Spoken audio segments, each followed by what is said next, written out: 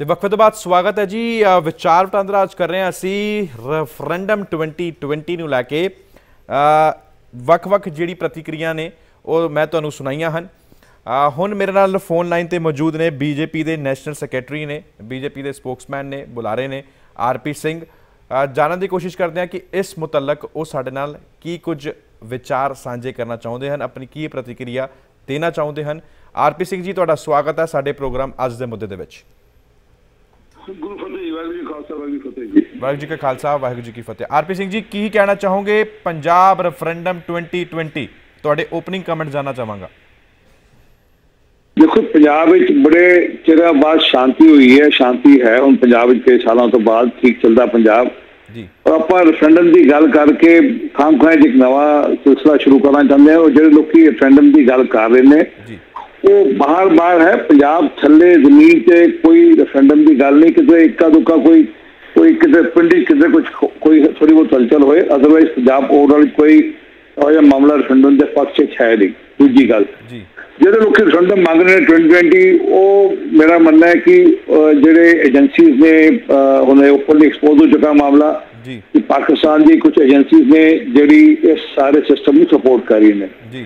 ਮੈਂ ਚਾਹਾਂਗਾ ਜਿਹੜੇ ਮੇਰੇ ਦੋਸਤ ਜਿਹੜੇ ਮਿੱਤਰ ਗੱਲ ਕਰ ਰਹੇ ਨੇ 2020 ਦੀ ਖਾਲਿਸਤਾਨ ਵਾਸਤੇ ਮੰਗ ਕਰ ਰਹੇ ਨੇ ਉਹ ਅਗਰ ਖਾਲਿਸਤਾਨ ਦੀ ਮੰਗ ਕਰਨੀ ਹੈ ਤਾਂ ਸ਼ੁਰੂ ਕਰਨਾ ਜੀ। ਪਾਕ- ਪਾਕਿਸਤਾਨ ਵਿੱਚ ਨਨਕਾਣਾ ਸਾਹਿਬ ਹੈ ਸਾਰੇ ਗੁਰੂ ਦਾ ਜਨਮ ਸਥਾਨ ਹੈ ਪਹਿਲੇ ਗੁਰੂ ਦਾ ਜਨਮ ਸਥਾਨ ਹੈ ਬਾਕੀ ਹੋਰ ਸਥਾਨ ਨੇ।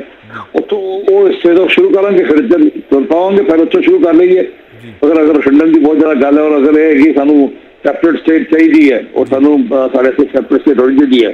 ਜਿਹੜਾ ਪਾਰਟ ਜਿਹੜਾ ਪਾਕਿਸਤਾਨ ਚ ਰਹਿ ਗਿਆ ਪੰਜਾਬ ਦਾ।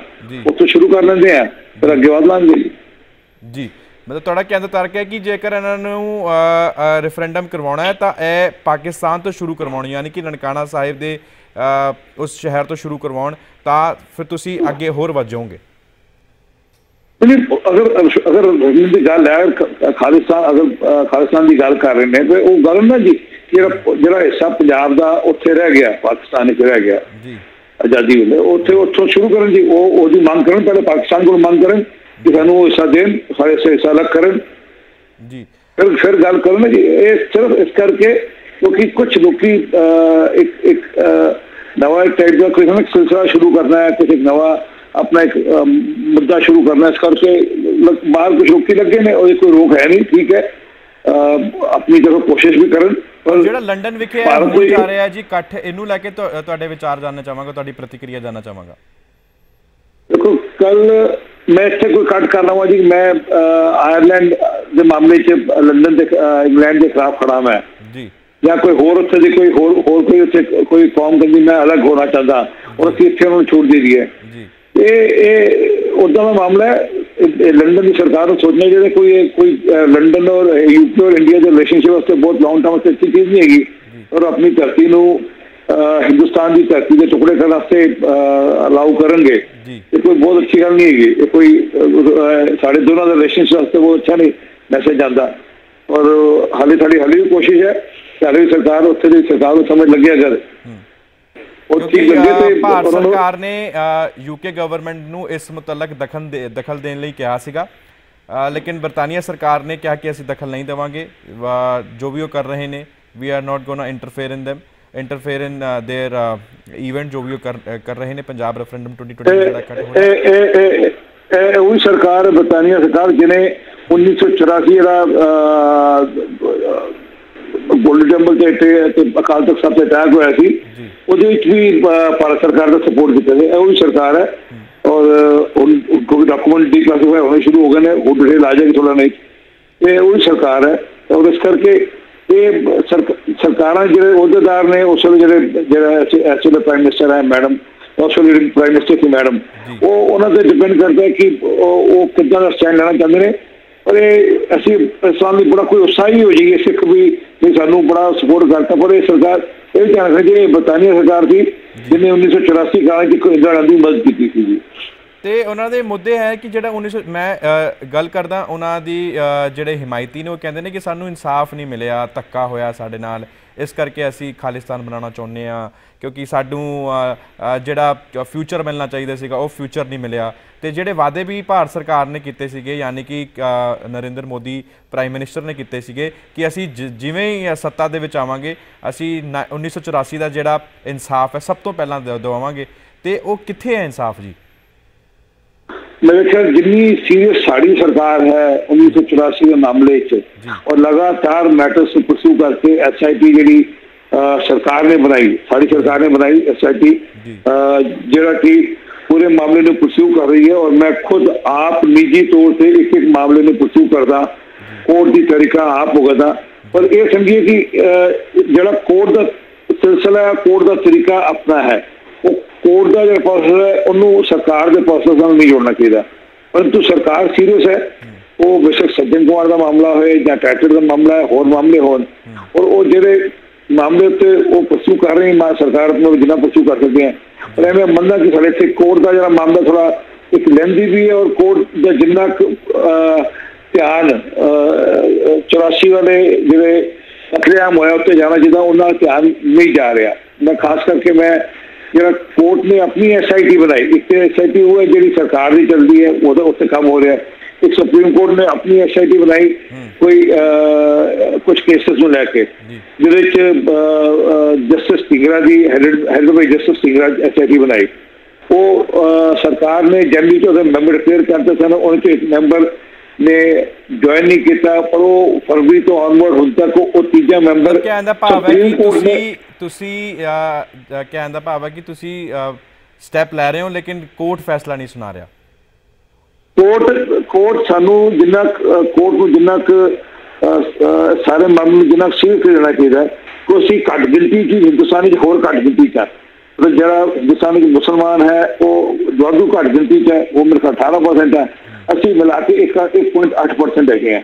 ਤੇ ਉਹਨਾਂ ਦੀ ਸੁਣਵਾਈ ਰਾਤੀ ਰਾਤੀ ਅਹ, ਦਰਵਾਜ਼ੇ ਖੋਲ ਹੈ ਇੱਕ ਮਹੀਨੇ ਵਾਸਤੇ ਪਰ ਸਿੱਖਾਂ ਦੇ ਮਾਮਲੇ 'ਚ ਮੈਂ ਸੁਪਰੀਮ ਕੋਰਟ ਤੋਂ ਬਹੁਤ ਇਸ ਮਾਮਲੇ 'ਚ ਉਦਾਸ ਹੈਗਾ ਕਿ ਜਿੱਦਾਂ ਜਿੰਨੀ ਸਪੀਡ ਹਾਲੇ ਚਾਹੀਦੀ ਹੈ ਜੀ। ਕੋਈ ਖਾਸ ਕਰਕੇ 34 ਸਾਲ ਹੋ ਗਿਆ ਮਾਮਲੇ ਨੂੰ ਚੱਲਦੇ ਚੱਲਦੇ ਜੀ। ਔਰ ਮੈਂ ਲਗਾਤਾਰ ਸੁਪਰੀਮ ਕੋਰਟ 'ਚ ਆਪ ਮੂਵ ਕੀਤਾ ਆਪ ਪਟੀਸ਼ਨ ਲਾਈ ਸੁਪਰੀਮ ਕੋਰਟ ਨੇ ਕਿਹਾ ਹਾਲੇ ਧਿਆਨ ਹੈ ਕਿ ਅਸੀਂ ਇਹਦੀ ਚਿੰਤਾ ਕਰਾਂਗੇ ਪਰ ਪਰ ਇਹ ਸਪੀਡ ਨਾਲ ਉੱਤੇ ਐਕਸ਼ਨ ਹੋਣਾ ਚਾਹੀਦਾ ਸਪੀਡ ਨਾਲ ਐਕਸ਼ਨ ਹੋ ਨਹੀਂ ਰਿਹਾ ਮੈਂ ਰੈਫਰ ਪਿਛਲੇ ਹਫ਼ਤੇ ਫਿਰ ਰਜਿਸਟਰ ਸੁਪਰੀਮ ਕੋਰਟ ਨੂੰ ਮਿਲਿਆ ਸੀ ਉਹਨਾਂ ਨੂੰ ਰਿਕੁਐਸਟ ਕਰਾਈ ਆਪਣੇ ਵਕੀਲ ਦੇ ਥਰੂ ਵੀ ਸਾਡਾ ਇਹ ਮਾਮਲਾ ਇੱਕ ਨੋਟੀਫਾਈ ਕਰਨਾ ਤੁਸੀਂ ਮੈਂਬਰ ਨੂੰ ਨੋਟੀਫਾਈ ਕਰੋ ਤਾਂ ਸਾਰੇ ਕੇਸਿਸ ਜਿਹੜੇ ਪੈਂਡਿੰਗ ਨੇ ਜਸਟਿਸ ਸਿੰਗਰਾ ਕੋਲ ਕਮੇਟੀ ਕੋਲੋਂ ਅੱਗੇ ਵਧਣ ਔਰ ਇਸ ਕਾਰਨ ਜਸਟਿਸ ਸਿੰਗਰਾ ਨੂੰ ਕੋਈ ਤਿੰਨ ਚਾਰ ਵਾਰ ਮਿਲ ਚੁੱਕਾ ਉਹ ਵੀ ਕਹਿੰਦੇ ਮੇਰੇ ਹੱਥ ਬੰਦੇ ਨੇ ਜਦ ਤੱਕ ਕਮੇਟੀ ਪੂਰੀ ਬਣੇ ਨਹੀਂ ਜਦ ਤੱਕ ਮੈਂ ਅਸੀਂ ਮਾਮਲੇ ਵਧਾ ਨਹੀਂ ਸਕਦੇ ਅਸੀਂ। ਤਹਿਕੀਕਾਤ ਕਰ ਨਹੀਂ ਸਕਦੇ।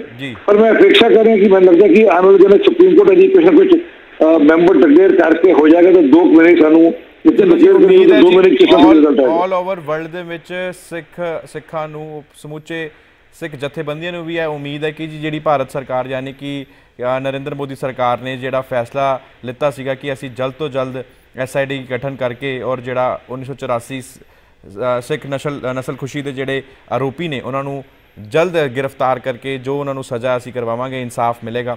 ਇਹ ਗੱਲ ਦੀ ਉਮੀਦ ਜਿਹੜੀ ਹੈ 올 ਓਵਰ ਵਰਲਡ ਦੇ ਵਿੱਚ ਲਗਾਈ ਜਾ ਰਹੀ ਹੈ। ਹੁਣ ਵਾਪਸ ਆ ਜੀ ਅਸੀਂ ਪੰਜਾਬ ਰੈਫਰੈਂਡਮ 2020 ਦੀ ਜੇਕਰ ਗੱਲ ਕਰ ਲਈਏ ਤੇ ਕਈ ਵਾਰ ਇਹ ਵੇਖਿਆ ਗਿਆ ਹੈ ਕਿ ਕੇਂਦਰ ਸਰਕਾਰ ਇਸ ਮੁਤਲਕ ਕਾਫੀ ਵਾਰ ਪ੍ਰੈਸ ਕਾਨਫਰੰਸ ਵੀ ਕਰ ਚੁੱਕੀ ਹੈ ਔਰ ਉਹਨਾਂ ਨੇ ਸਾਫ਼ ਤੌਰ ਤੇ ਇਹ ਵੀ ਕਹਿਤਾ ਕਿ ਜੋ ਵੀ ਇਸ ਐਕਟੀਵਿਟੀ ਦੇ ਵਿੱਚ ਸ਼ਮੂਲੀਅਤ ਕਰੇਗਾ ਉਹ ਐਂਟੀ ਨੈਸ਼ਨਲ ਐਕਟੀਵਿਟੀ ਕਰ ਰਿਹਾ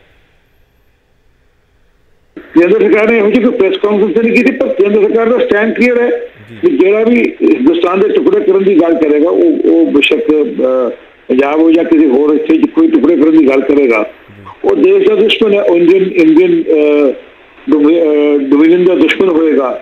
ਔਰ ਹਿੰਦੁਸਤਾਨ ਦੇ ਕਾਨੂੰਨ ਦੇ ਅੰਤਰਗਤ ਕਿਉਂਕਿ ਜਦ ਪੂਰੇ ਹਿੰਦੁਸਤਾਨ ਦੀ ਸਾਰੀ ਪ੍ਰਿਥਵੀ ਸਟੇਟ ਦਾ ਵਿਲय ਹੋਇਆ ਸੀ ਜਦ ਸਾਰੀ ਸਟੇਟ ਨੂੰ ਨਾਲ ਮਿਲਾ ਰਲਾਇਆ ਗਿਆ ਸੀ ਉਸਰੇ ਵੇਲੇ ਅਹ, ਪੰਜਾਬ ਵੀ part of the Indian Indian state thereafter ਉਸ ਤੋਂ ਬਾਅਦ ਹੁਣ ਉਹ ਚੈਪਟਰ ਖੋਲ ਕੇ ਦੁਬਾਰਾ ਕੋਈ ਕਹੇ ਜੀ ਅਸੀਂ ਅਲੱਗ ਅੱਜ ਦੇਸ਼ ਬਣਾਉਣਾ ਜਾਂ ਅਲੱਗ ਆਪਾਂ ਕੋਈ ਸਾਨੂੰ ਅਲੱਗ ਹਿੱਸਾ ਕਰਤਾ ਜਾਏ ਉਹਨੂੰ ਪੋਸੀਬਲ ਹੈ ਨਹੀਂ। ਉਸ ਵੇਲੇ ਅਗਰ ਕੋਈ ਗੱਲ ਹੁੰਦੀ ਜਿੱਦਾਂ ਪੰਜਾਬ ਅਹ, ਰੈਫਰੈਂਡਮ ਮੁਸਲਮਾਨਾਂ ਨੇ 2020 ਦੇ ਹਿਮਾਇਤੀ ਕਹਿੰਦੇ ਹਨ ਕਿ ਇੰਟਰਨੈਸ਼ਨਲ ਲਾਅ ਇਜਾਜ਼ਤ ਦਿੰਦਾ ਹੈ ਕਿ ਤੁਸੀਂ ਵੋਟਾਂ ਕਰਾਓ ਜੋ ਕਿ ਰੈਫਰੈਂਡਮ ਦੀ ਗੱਲ ਕਰੀਏ ਵੋਟਾਂ ਕਰਾਓ ਔਰ ਆਪਣੀ ਮੰਗ ਜਿਹੜੀ ਹੈ ਲੋਕਾਂ ਦੇ ਵਿੱਚ ਲੈ ਕੇ ਜਾਓ ਔਰ ਜੇਕਰ ਲੋਕ ਇਸ ਮੁਤਲਕ ਆਉਂਦੇ ਹਨ ਤਾਂ ਇਹ ਹੋ ਸਕਦਾ ਹੈ ਇਹ ਮੁਮਕਿਨ ਹੈ। ਤੁਹਾਨੂੰ ਕੀ ਲੱਗਦਾ? ਦੇਖੋ ਵੋਟਾਂ ਕਿੱਥੇ ਕਰਾਂਗੇ ਜੀ? ਵੋਟਾਂ ਜਾਂ ਤੇ ਉੱਥੇ ਹੋਣਾ ਗੱਲ ਜਾਂ ਤੇ ਵੋਟਾਂ ਹੁੰਦੇ ਨੇ। ਹਰ 5 ਸਾਲ ਬਾਅਦ ਪੰਜਾਬ ਵਿੱਚ ਇਲੈਕਸ਼ਨ ਹੁੰਦੇ ਨੇ ਅਸੈਂਬਲੀ ਇਲੈਕਸ਼ਨ ਹੁੰਦੇ ਨੇ। ਜੀ। ਔਰ ਵਿਸਥਾਰ ਅਲੱਗ ਅਲੱਗ ਟਾਈਪ ਦੇ ਕੋਈ ਪੰਚਾਇਤ ਦਾ ਕੋਈ ਸਿਵਕ ਬਾਡੀਜ਼ ਦਾ ਜੀ। ਪਾਰਲੀਮੈਂਟਰੀ ਇਲੈਕਸ਼ਨ ਉਹ ਵੀ ਅਲੱਗ ਅਲੱਗ ਹੁੰਦੇ ਰਹਿੰਦੇ ਨੇ ਵਿਸਥਾਰ ਇਸ ਕਰਕੇ ਕੋਈ ਹੋ ਜਾ ਮੁੱਦਾ ਹੈ ਨਹੀਂ। ਹਾਂ ਵੋਟਾਂ ਕਿੱਥੇ ਕਰਾਂਗੇ ਉਹ ਕਿਸੇ ਬਾਹਰ ਦੁਨੀਆ 'ਚ ਕਿਉਂਕਿ ਅੱਜ ਜਿੰਨਾ ਕਿਸੇ ਪੰਜਾਬ ਵਿੱਚ ਹੈਗਾ ਉਹਨਾਂ ਕਿਸੇ ਤੋਂ ਘੱਟ ਉਹਨਾਂ ਸਿੱਖ ਦੁਨੀਆ ਹੀ ਹੈਗਾ। ਜੀ। ਉਹ ਦੁਨੀਆ 'ਚ ਆਪਣਾ ਕਰ ਲੈਣ ਜਿੱਥੇ ਜਿੱਥੇ ਜਾਣ ਉੱਥੇ ਕਰ ਲੈਣ। ਹਿੰਦੁਸਤਾਨ 'ਚ ਕੋਈ ਲੱਗਦਾ ਨਹੀਂ ਚੱਲਦੇ ਕੋਈ ਉਤਰ ਕੇ ਆ ਕੇ ਕੋਈ ਉੱਥੇ ਗਿਣਤੀ ਕੋਈ ਰੈਫਰੈਂਡਮ ਦੀ ਗੱਲ ਕਰੇਗਾ ਜਾਂ ਰੈਫਰੈਂਡਮ ਹੋਏਗਾ। ਹਾਂ ਔਰ ਅਗਰ ਰੈਫਰੈਂਡਮ ਦੀ ਗੱਲ ਕਰਨੀ ਹੈ ਤੇ ਪਾਕਿਸਤਾਨ ਤੋਂ ਸ਼ੁਰੂ ਕਰਨਾ ਜਿਹੜਾ ਹਿੱਸਾ ਹੈ ਬਸ ਉੱਥੇ ਰਹਿ ਗਿਆ ਉਹ ਆਸਾਨ ਹੈ ਔਰ ਪਾਕਿਸਤਾਨ ਸਪੋਰਟ ਵੀ ਕਰ ਰਹੇ ਕਹਿੰਦੇ ਨੇ ਪਾਕਿਸਤਾਨ ਸਪੋਰਟ ਵੀ ਕਰ ਰਿਹਾ ਸਾਰੇ ਮੁੱਦੇ ਨੂੰ। ਪਾਕਿਸਤਾਨ ਦੇ ਦੇ ਆਪਣਾ ਹਿੱਸਾ ਉੱਥੇ ਸ਼ੁਰੂ ਕਰਨ ਉੱਥੇ ਆਪਣੀ ਗਵਰਨਮੈਂਟ ਰਿਜ਼ਾਈਲ ਬਣਾ ਲੈਣ ਪਹਿਲੇ ਆਪਣੀ ਅੱਛਾ ਇੱਕ ਜਿਹੜੀ ਗੱਲ ਕਾਲੀ ਸੂਚੀ ਦੀ ਗਈ ਗਈ ਕਹੀ ਗਈ ਸੀ ਕਿ ਪ੍ਰਧਾਨ ਮੰਤਰੀ ਨਰਿੰਦਰ ਮੋਦੀ ਵੱਲੋਂ ਕਿ ਕਾਲੀ ਸੂਚੀ ਨੂੰ ਖਤਮ ਕਰ ਦਿੱਤਾ ਗਿਆ ਕਿ ਕਾਲੀ ਸੂਚੀ ਵਾਕਈ ਖਤਮ ਹੋ ਚੁੱਕੀ ਹੈ? ਕੋਈ ਮੇਰੇ ਸਾਹਮਣੇ ਕੋਈ 10 12 ਕੇਸਿਸ ਬੱਚੇ ਨੇ ਉਹ ਵੀ ਪਰਸਿਊ ਹੋ ਰਹੇ ਨੇ। ਆਲਮੋਸਟ ਜਿਹੜਾ ਵੀ ਹਿੰਦੁਸਤਾਨ ਹੁਣ ਕੋਈ ਆਣਾ ਚਾਹੁੰਦਾ ਕਿਸੇ ਨੂੰ ਹਿੰਦੁਸਤਾਨ ਵਿੱਚ ਆਉਣ ਦੀ ਕੋਈ ਦਿੱਕਤ ਨਹੀਂ ਆਏਗੀ। ਔਰ ਹਿੰਦੁਸਤਾਨ ਆਏ ਜਾਏ ਲੋਕੀ ਉਹਨੇ ਪਿੱਛੇ ਪ੍ਰੈਜ਼ੀਡੈਂਟ ਪ੍ਰਾਈਮ ਮਿਨਿਸਟਰ ਵੀ ਲੋਕੀ ਸਨ ਇੱਥੇ ਜਿਹੜੇ ਜਿਹੜੇ ਕਾਲੀ ਸੂਚੀ ਹੈਗੇ ਸਨ ਉਹ ਵੀ ਇੱਥੇ ਆਏ ਸਨ ਹਿੰਦੁਸਤਾਨ ਵਿੱਚ। ਜੀ। ਜਿਹੇ ਲੋਕੀ ਆ ਜਾ ਰਹੇ ਨੇ ਕੋਈ ਇਹੋ ਜਿਹਾ ਇਸ਼ੂ ਨਹੀਂ ਕਾਲੀ ਸੂਚੀ ਦਾ ਕੋਈ ਇਸ਼ੂ ਨਹੀਂ। ਕੁਝ ਦਿਨ ਦਿਨ ਕੇ ਕੋਈ ਥੋੜੇ ਲੋਕੀ ਬੱਚੇ ਹੋਣਗੇ ਉਹ ਵੀ ਪ੍ਰੋਸੈਸ ਹੈਗਾ। ਉਹ ਵੀ ਆਲਮੋਸਟ ਜਿਹੜਾ ਕੋਈ ਇੱਕਾ ਦੁੱਕਾ ਕੇਸ ਜਿਹੜਾ ਬਹੁਤ ਸੀਰੀਅਸ ਕੋਈ ਕੇਸ ਹੋਏਗਾ ਉਹ ਛੱਡ ਕੇ ਬਾਕੀ ਸਾਰੀ ਕਾਲੀ ਸੂਚੀ ਖਤਮ ਹੈ। ਮਤਲਬ ਆਉਣ ਵਾਲੇ ਇਸ ਆਜ਼ਾਦੀ ਦਿਹਾੜੇ ਦੇ ਮੌਕੇ ਤੁਸੀਂ ਕਹਿ ਰਹੇ ਹੋ ਕਿ ਤੁਸੀਂ ਆਜ਼ਾਦ ਹੋ ਔਰ ਜਿਹੜੇ ਭਾਰਤ ਜਾਣਾ ਚਾਹੁੰਦੇ ਨੇ ਉਹ ਆ ਸਕਦੇ ਨੇ। ਉਹਨਾਂ ਨੂੰ ਫੜਿਆ ਨਹੀਂ ਜੀ ਜਾਏਗਾ। ਜੀ ਜੀ ਉਹਨਾਂ ਦੇ ਜੀ ਉੱਤੇ ਆਇਆਂ ਨੂੰ ਸਵਾਗਤ ਹੈ। ਜੀ। ਜੀ ਆਇਆਂ ਨੂੰ ਸਵਾਗਤ ਹੈ ਔਰ ਕੋਈ ਕੋਈ ਸਪੈਸ਼ਲ ਕੇਸ ਹੈ ਜਿੱਥੇ ਕੋਈ ਗੱਲ ਹੋਏ ਮੇਰਾ ਈਮੇਲ ਆਈਡੀ rpskhalsa@gmail.com ਹੈ ਮੈਨੂੰ ਮੇਲ ਕਰ ਦੇਣ। ਜੀ। ਸਵਾਗਤ ਹੈ ਔਰ ਮੈਂ ਉੱਥੇ ਪਰਸੂ ਕਰਾਂਗਾ ਮੈਟਰ ਸਰਕਾਰ ਨਾਲ। ਠੀਕ ਹੈ ਜੀ ਮਤਲਬ ਕਹਿਣ ਦਾ ਭਾਵ ਹੈ ਕਿ ਜੇਕਰ ਕਿਸੇ ਦੇ ਉੱਤੇ ਦੋਸ਼ ਲੱਗੇ ਹਨ ਅਗਰ ਉਹ ਭਾਰਤ ਨਹੀਂ ਜਾ ਸਕਦਾ ਤਾਂ ਤੁਸੀਂ ਕਹਿ ਰਹੇ ਹੋ ਕਿ ਤੁਹਾਡੀ ਈਮੇਲ ਦੇ ਉੱਤੇ ਉਹ ਆਪਣੇ ਕੇਸ ਨੂੰ ਸੈਂਡ ਕਰ ਦੇਣ ਔਰ ਤੁਸੀਂ ਉਸ ਕੇਸ ਨੂੰ ਪਰਸਿਊ ਕਰੋਗੇ ਔਰ ਭਾਰਤ ਸਰਕਾਰ ਦੇ ਨਾਲ ਗੱਲ ਕਰੋਗੇ। ਬਿਲਕੁਲ 110% ਮੈਂ ਚਾਹਾਂਗਾ ਕਿ ਆਪਣੀ ਈਮੇਲ ਆਈਡੀ ਤੁਸੀਂ ਇੱਕ ਵਾਰੀ ਫਿਰ ਦੁਹਰਾ ਦਿਓ।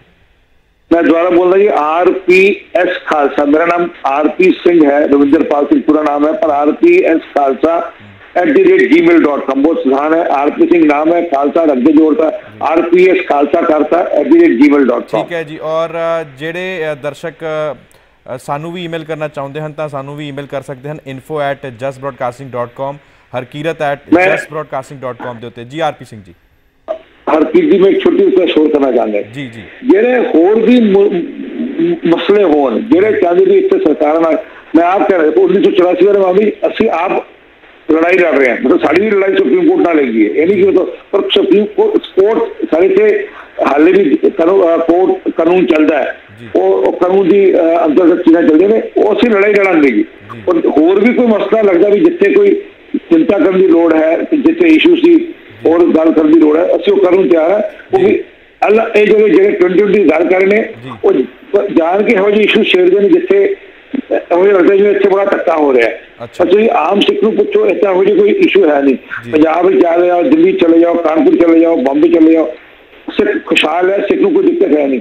ਜੀ। ਇਹ ਜਾਣ ਕੇ ਕੋਈ ਮੁੱਦੇ ਖੜੇ ਕੀਤੇ ਨੇ ਔਰ ਕੋਈ ਮੁੱਦਾ please come back to us we are prepare to work on that ਚਲੋ ਠੀਕ ਹੈ ਜੀ। ਬਹੁਤ ਬਹੁਤ ਧੰਨਵਾਦ। ਆਰਪੀ ਸਿੰਘ ਜੀ ਆਪਣਾ ਕੀਮਤੀ ਸਮਾਂ ਸਾਨੂੰ ਦੇਣ ਦੇ ਲਈ ਔਰ ਆਪਣੀ ਗੱਲ ਸਾਡੇ ਨਾਲ ਸਾਂਝਾ ਕਰਨ ਦੇ ਲਈ।